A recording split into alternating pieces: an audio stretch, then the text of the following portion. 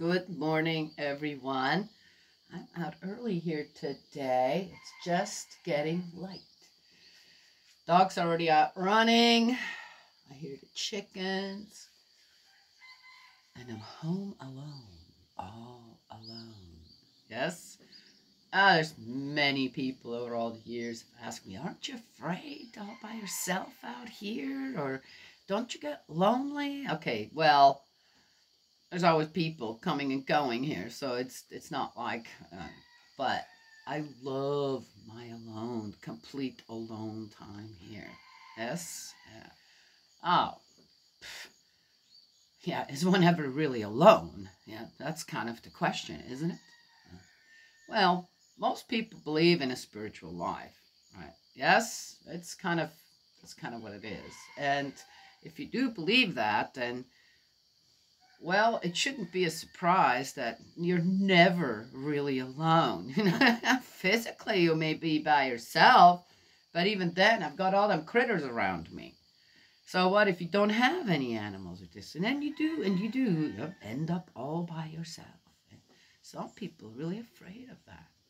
But again, you're never alone. You're never completely alone. Never. Ever. That's an absolute myth. uh, I would say if people could watch me and you know, kind of cameras would be up, I didn't know or something, and could watch me in secret all day long, they'd go, man, that woman has a problem or something, right? Who's she talking to? Uh, what are these conversations she's got going? Uh, yes? well, I do a lot of it out loud. A lot of people do it just in their head, so they think. Yes? And we have uh, terms for that, uh, psychological terms for that. Schizophrenia, for example, is one of them. Yes? It's considered a disease of the mind or something. Is it? Is it really? Or is it that when people are afraid to be alone and suddenly, right, there is this quiet, there is this no interference from the outside, where then suddenly their mind is you know, opens really up and they get to have a look into that. And that freaks them out too. Yes? So then rather than this alone time per se, where then eh, you get to experience spirit life, eh, becomes a really amazing experience. Yes? And, oh, okay, what's going on here? Then, uh, rather than it becomes a, a, a, a, another fear factor in people's lives. And it goes the other way. Yes? Where then, if you want to call it craziness, comes in. Spontaneous combustion that then shows itself in the physical. Yes?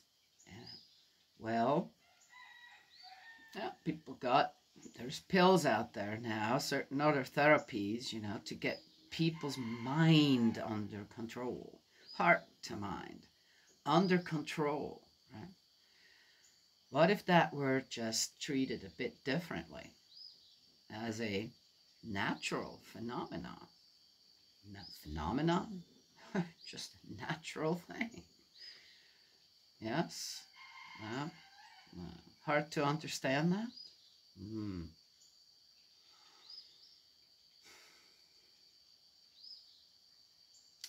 Well, in any case, so for me to be in the physical just by myself without other people around is always a really freeing thing, really amazing thing. Where then I have all this time to do what? Have conversations, have give and take, with my spiritual nature. And what? The spiritual nature of others. Oh, is it always good? Well, well, how do, is, does it work in the physical with people? Does one click with everyone just like that? Does everyone that you meet always have the greatest intentions? Right? Or is there, oh, okay, I see where you're coming from. I see what you're trying to do, right? Yes? sometimes people don't notice, get completely run over and very, very discouraged. Yeah? Start to mistrust people, right? Um, become paranoid. Well, that happens in the physical with people, right? Yes? Well, what about the spiritual? Same thing. Ah, but again, how well do you know yourself? How anchored are you in life? Even if things don't always go great or whatever, right? Yes? Mm. I've mentioned stories before where I would be doing something and suddenly I had this, oh, what's this all about? I know that's not me. and then I'd go, well, okay, you got two choices. You can leave, you can stay and learn from me, but you don't get to create havoc. Yes?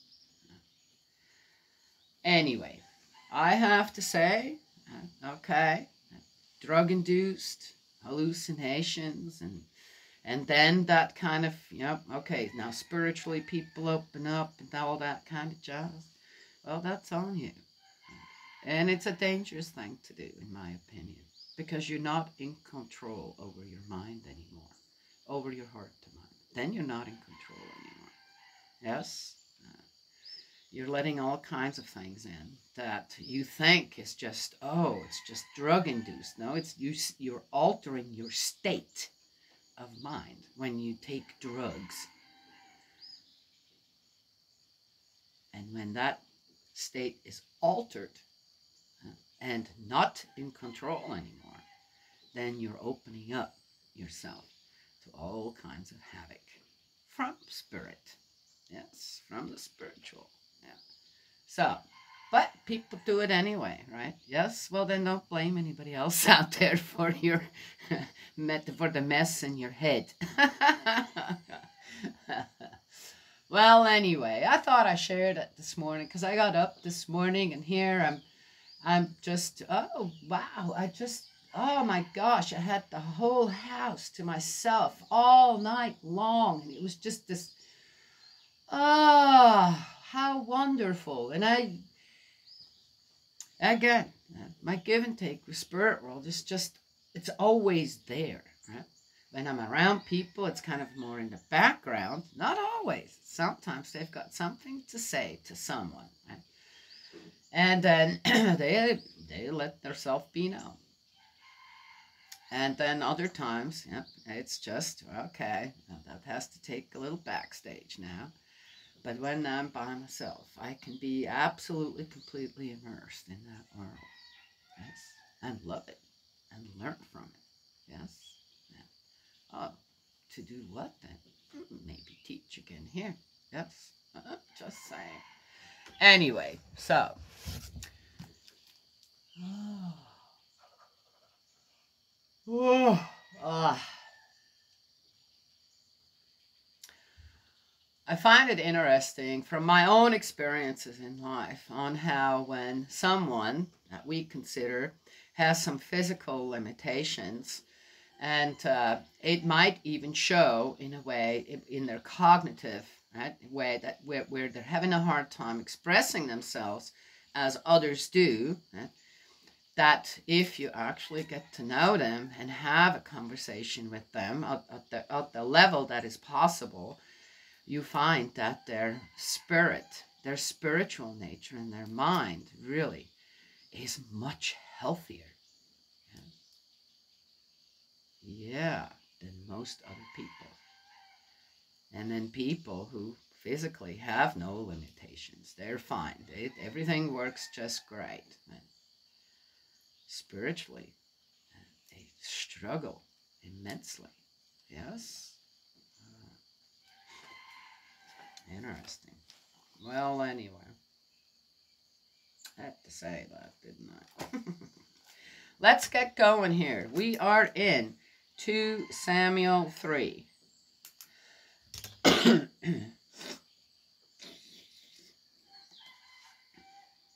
all right, all right.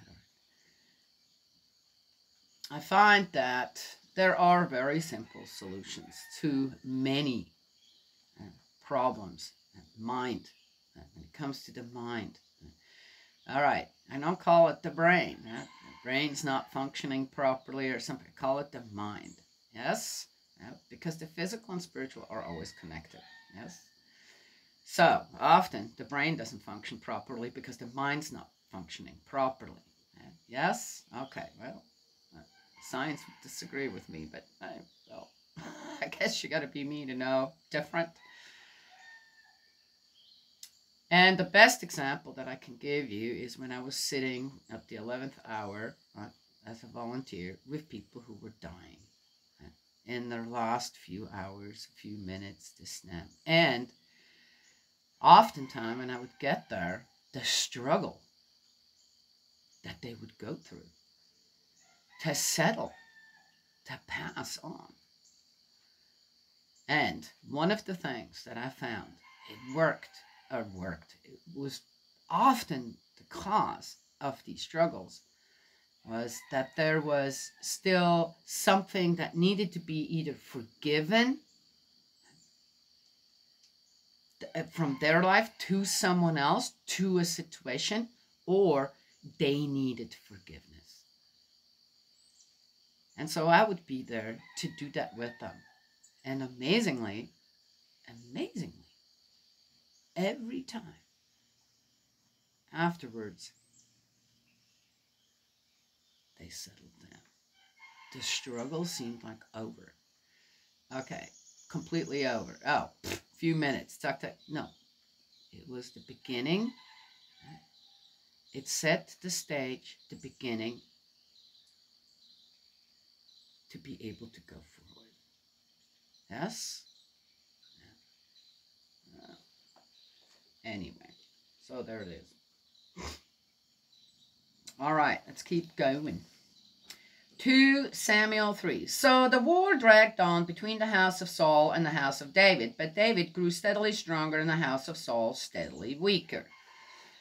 The sons born to David at Hebron. The sons born to David at Hebron were his firstborn Amnon by Ahinoam of Jezreel, his second Gilead by Abigail, widow of Nabal of Carmel, the third Absalom, son of Maacah, daughter of Talmai, king of Geshur. Oh, he had another wife. Ay, ay, ay. The fourth Adonijah, Adonijah, son of Haggith.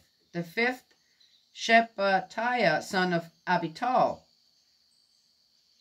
Five wives. The sixth, Ithream, the, by David's wife, Eglah. These were born to David at Hebron. He had six wives and six sons. Man, how many more kids did he have? six wives.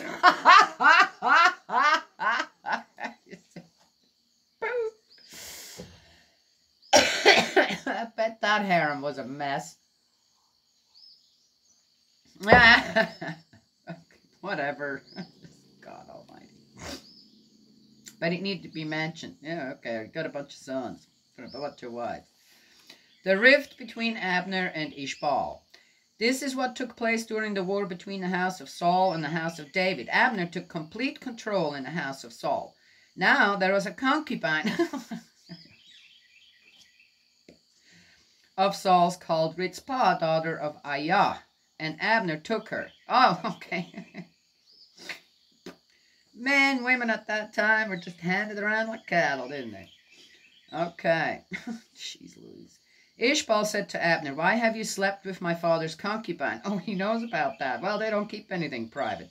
At these words of Ishbal, Abner flew into a rage. Am I a dog's head? Yeah, you are, he shouted. Here am I, full of faithful love towards the house of Saul your father, his brothers and his friends, not leaving you to the hands of David, and now you find fault with me over a woman? May God bring unnameable ills on Abner, and worse ones too, if I do not bring about what Yahweh has sworn to David, to take the sovereignty from the house of Saul and establish David's throne over Israel as well as Judah, from Dan to Beersheba. Okay, so he just Abner just you know, admonished Ishbal because Ishbal says, why do you do that? Why do you go ahead and sleep with my my my father's women? You know, which Saul's dead, so I don't know. You know maybe it was consensual. and uh, and uh, you know and and and here I am. Uh, I mean, uh, what's the big deal about that? You know, you want to start fighting over a woman, yeah. But at the same time, now he says, so now, yeah, because you did that over a woman, I'm going to go. I'm going to go and help David, right? Yes, I want to make sure David's going to be in control. Well, what is he doing now? Is he doing anything? Is instead of saying, "Hey, I," you know, give an explanation why I did that, and said well, you know, if I'd known you feel that bad about it, I would, you know, probably not. You know, maybe next time I'll come talk to you first about it, you know. But let's move on. You know? it, I mean, this is something that doesn't really have anything to do with the leadership, this and that. So, and what's going on in all these houses in Israel. So let's go on. Abner could have said that. No, he flew into a rage. And his rage did what? He did exactly the same thing as Ishbal just asked him. Why would you do that? Right? And here Abner flies into a rage and says, Well, now, because you did that, you said that, I'm going over a woman. I'm not going to support you anymore. Isn't he? What he's accusing Ishbal of, he's doing exactly himself. Isn't that interesting? Yeah, but, but telling you what, ah, I bet you Abner's conscience kind of plaguing him, right? Yes? Okay. Well, there you go. Telling you. Ishbal dared not to say a single word to Abner in reply as he was afraid of him. There you go. That's it. Ishbal had one question. Why are you doing that? I think it's a it's a it's a well-deserved question. And Abner fixed it, pulled the whole thing in a completely different direction where then Ishbal goes, Oh, okay, I better not say anything anymore. Right? He is the one that's supporting me. He's the one in control. Right? Yes? Uh-huh. Abner negotiates with David. Abner sent messengers on his own behalf to say to David, and furthermore, come to an agreement with me, and I will give you my support to win all Israel over to you. Very well, David said, I will come to an agreement with you. Now again, so why didn't David go? Now this is someone that's been fighting. They've been fighting against each other. So there is, what did I say? Communication? Okay. So there's communication going on, yet why why isn't David kind of a little stumped over, okay, what's going on here? Did he not know Ishbal? Right? He knew Jonathan really well, one of the sons of Saul. How about Ishbal? He didn't know him. So, you know, and he, he, he was really upset that, you know, some dude just killed Saul, right? The anointed of Yahweh. And was very clear where his loyalties stand, in a way, okay?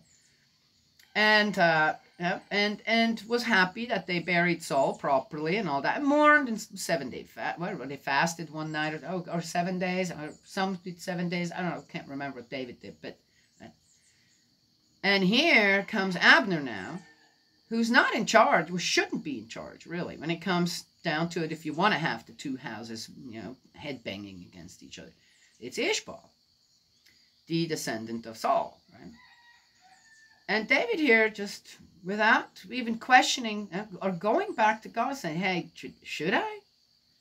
Should I team up with him? I'm not getting that here.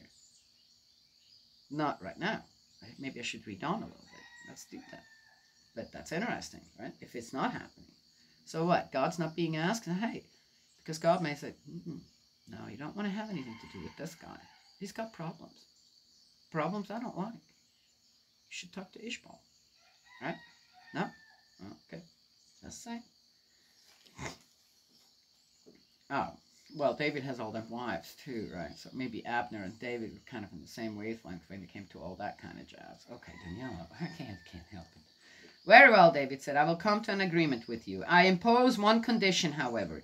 You will not be admitted to my presence unless you bring me Michal. Oh, Saul's daughter, when you come to see me. Oh, remember Michal? Who's Michal?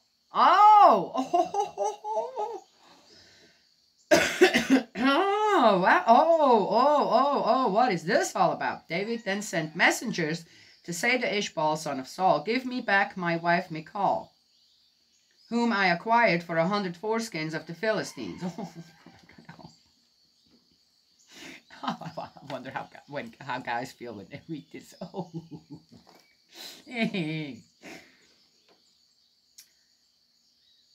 But Michal was given to somebody else. So, man, oh man. So Ishbal sent for her to be taken for, from her husband, Paltiel, son of Laish. Her husband set off with her and followed her, weeping as he went, as far as Bahurim. But Abner said to him, Go back, and he went. Ah, you know what? While I was reading this, I was just thinking, I wonder if they had a happy marriage. You know, this might have been a really happy marriage. Sounds like it was. Why would a husband follow his wife that he has to give up? He can't fight these guys, right? And he's weeping while he has to let her go. It means what? He loved her. Sounds like he loved her. Sounds like they had a good relationship. And what's David doing?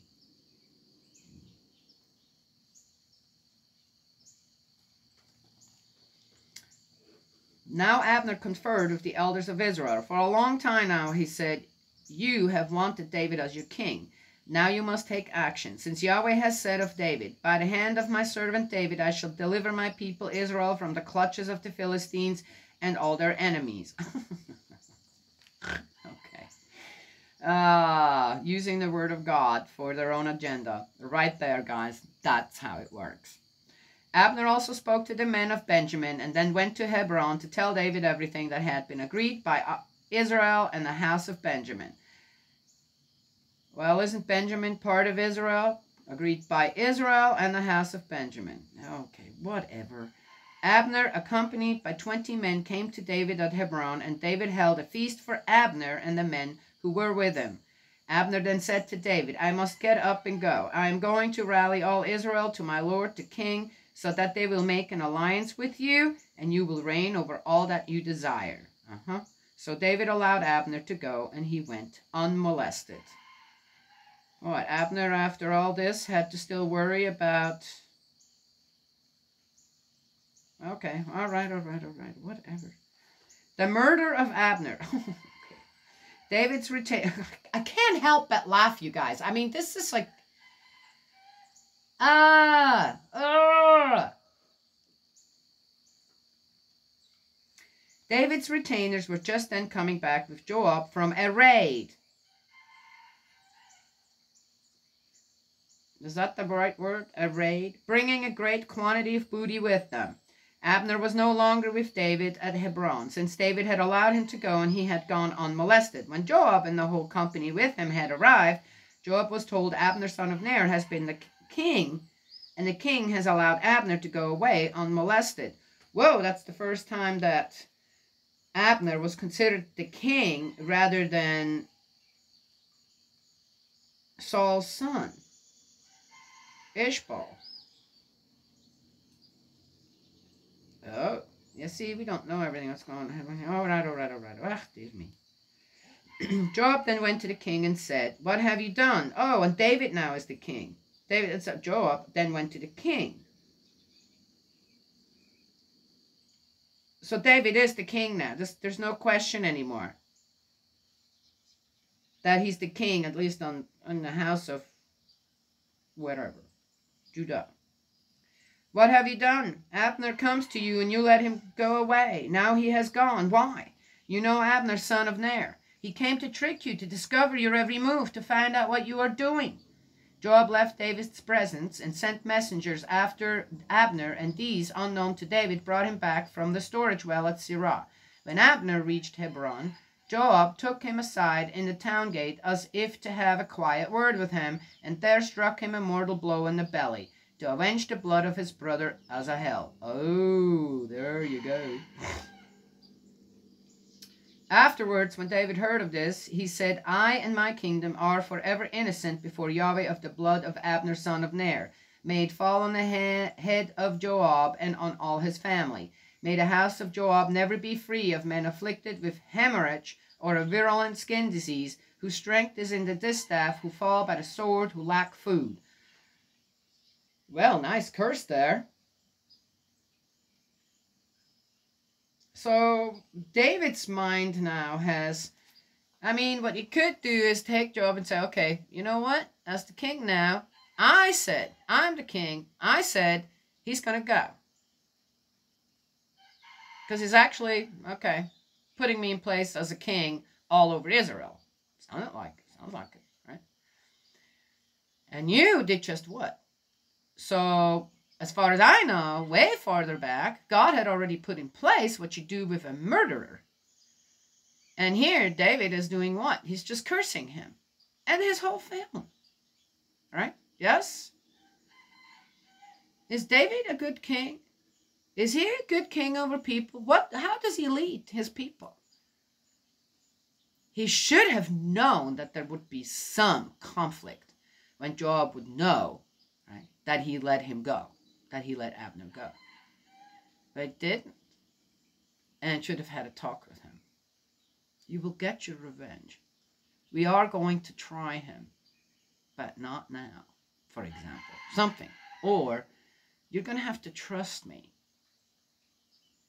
if you're going to accept me as your king, right? Something. But that conversation we're not getting. And Joab goes ahead and, yeah, okay. You see what's going on here? This is, where is God in all this? Yes?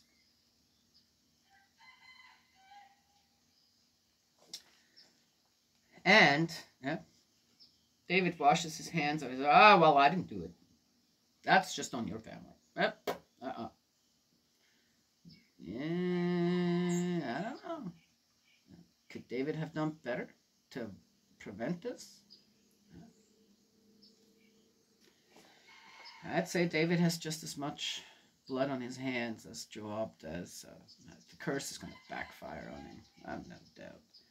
Joab and his brother Abishai had murdered Abner because, oh, now his brother was also in on it murdered Abner because he killed their brother Asahel at the cattle of battle of Gibeon.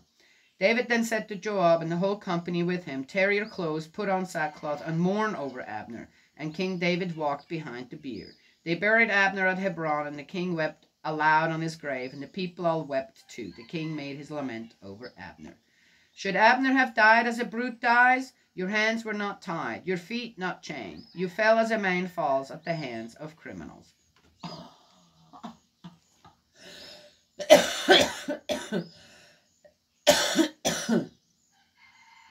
That's what you call to uh, put a clean sheet over a dirty one and hope nobody notices. And all the people wept for him louder than ever. Such a show. the people then all tried to persuade David to have some food while it was still daylight, but David swore this oath. May God bring unnameable ills on me, and worse ills too, if I have tasted bread or anything whatever until the sun is down. All the people took note of this, and it pleased them. Oh, indeed, everything the king did pleased the people. That day all the people and all Israel understood that the king had had no part in the murder of Abner son of Ner.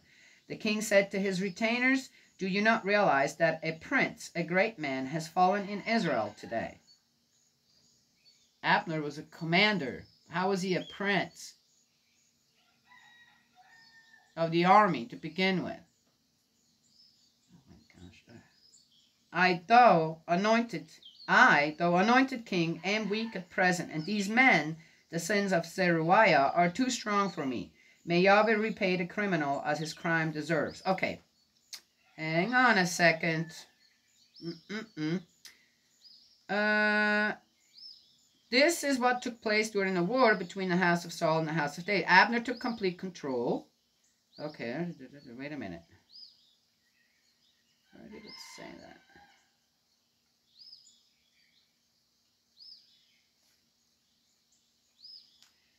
It said that, oh, so the war dragged on between the house of Saul and the house of David, but David grew steadily stronger in the house of Saul, Saul, Saul steadily weaker.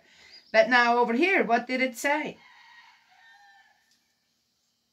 I, though anointed king, am weak at present, and these men, this is David talking, the sons of Zeruiah, are too strong for me. May Yahweh repay the criminals as his crime deserves. Oh, we get, we're getting, what are we getting here? Constantly. okay. I guess people don't notice that when they read this and it goes in one ear, out the other. But I'm, okay, all right. Well, which is which now? Is he getting stronger and, uh, and Saul's house is getting weaker, or is it the other way around? And Abner's gone now, so I have no idea. And that is the end of three. Uh,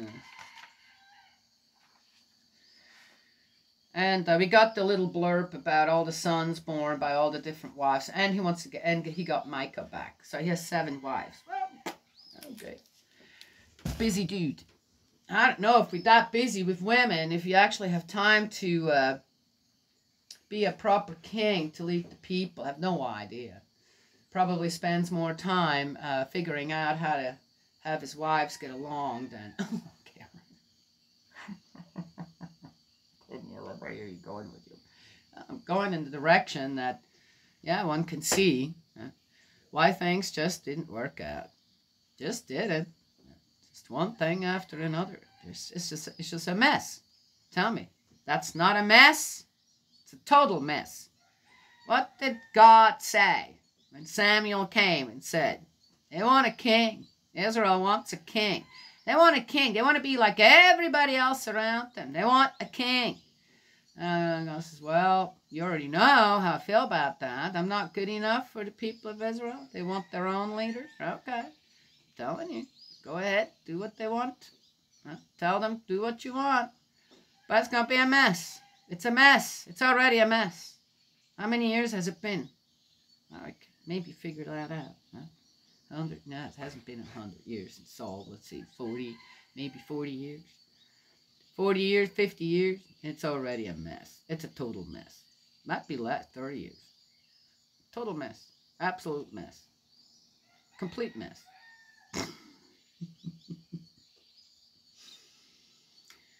it's not funny, isn't it? It's sad. Because the consequences of that mess are still, there are felt all around the world. All around the world. Interestingly enough, why don't why don't they just talk about the kingship and the battles and this and that? No, they're talking about all them wives too. Yeah. yeah. So today, when I look at all the problems around the world, especially when it comes to the principles of love, right? yes, not just leadership, this and that, but the relation relationship between men and women, and then the children who are pulled into all this absolute nonsense in one form or another, often unborn. Yeah.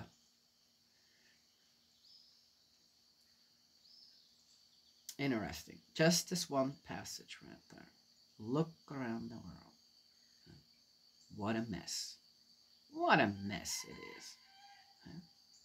Oh, a lot of people out there do just fine. They're physically fine. They got their homes, they got food, they raise their children properly, right?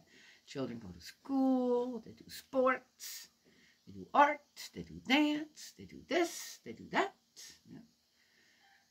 Things good for a lot of people around the world. They really are. Right? Yes. Yeah. Mm, how content are people out there? How happy are people out there? Hmm?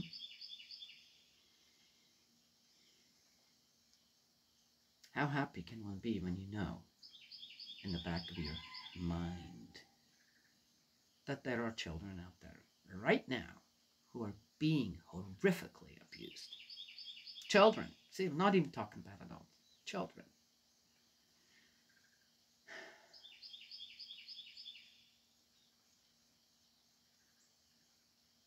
Abner goes to David and says, I'm going to fix it so that you as a king have everything that you desire. You desire. David desires.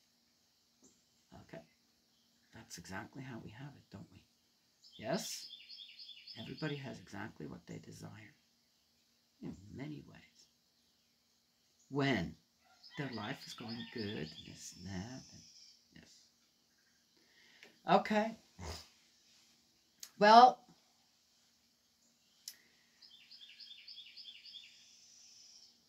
I think that when people have also a hard time with their spiritual nature, that then makes itself uh, known as often depression, yes, yeah, anxiety, mm-hmm, fear. Uh, what was that other one? Uh, paranoia. Uh, yes. That then result into other greater greater confusion out that then uh,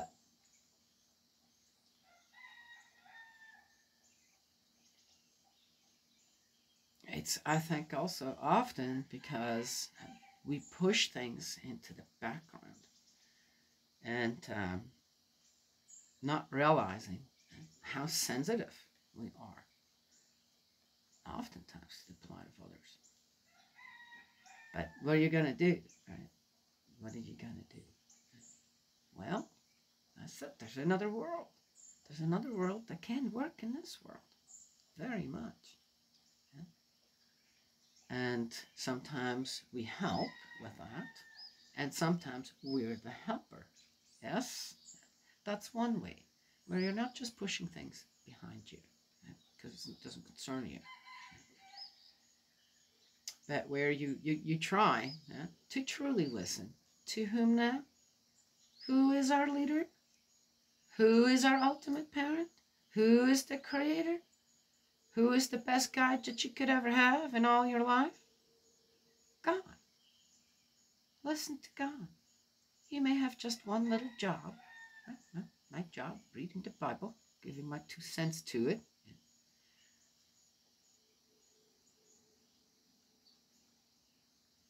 And that's something. And that's something you will feel proud of. Yes? And that is something that then writes your mind. You become stronger. Yes? Okay. That's what I wanted to share this morning. Oh, what do I have to do today? What do I have to do today? What do I have to do today? What do I want to do today? It's a never ending story here. One thing at a time. I can't stress either. One thing at a time. Yes. Oh, it's going to be a beautiful day.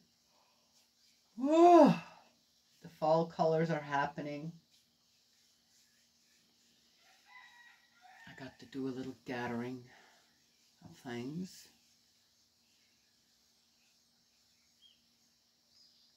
And thank God I have the farrier come tomorrow. Yes. That's that's a good thing. Looking forward to finding out what's going on with Maverick's hooves. That one. Mm-hmm, mm-hmm, mm-hmm, mm-hmm. Yep. Good. Done. Done talking. What? do you think? I don't know. To wait till tomorrow if you guys don't give it to me now.